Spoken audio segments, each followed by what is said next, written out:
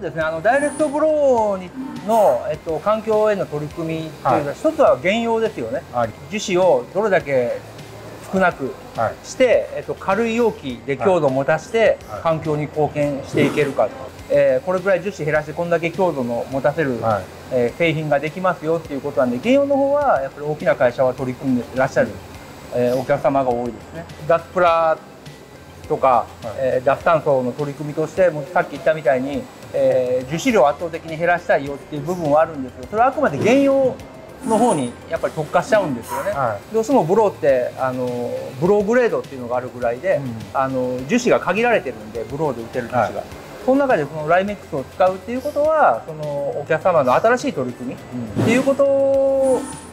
えーと、背中が押せるっていうかな、うん、えー、こういう対策もあるんですよっていうことを、えーと、と一つ示せるきっかけになるかなとは思います。ライメックスあの価格が安定してるっていう部分がすごい大きな強みだと思うんで、はい、あのそういう部分ではお客様もあの安心して利益に貢献できるんじゃないかなと思いますけどね。ねはい、ライメックスの特徴であるこう割合電動率がいるので早く消えるっていうところに関しては、成形サイクルが煽れるんじゃないかなと私は思ってるんですけど、間違いなく煽れると思います、うん、はい。えっと、同じ金型を使い続けてる限りはなかなかあの成形サイクル煽るっては難しい、うん、その中でそのライメック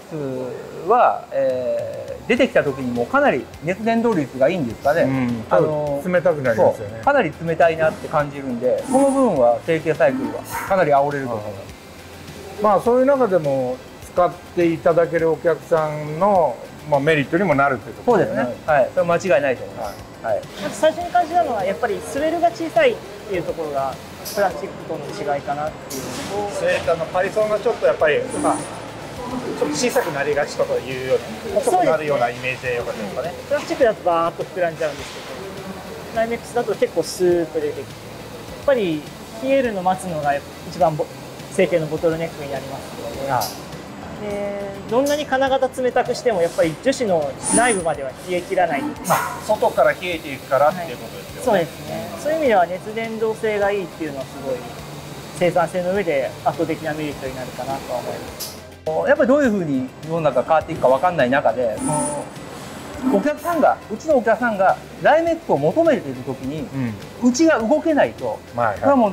何の意味もないんで、そういう時にやっぱ一歩でも二歩でもねあの先に動けるように、はい、えー、TBM さんと協力しながら、はい、このライメックって樹脂をねあのしっかり世の中に広めていければいいなって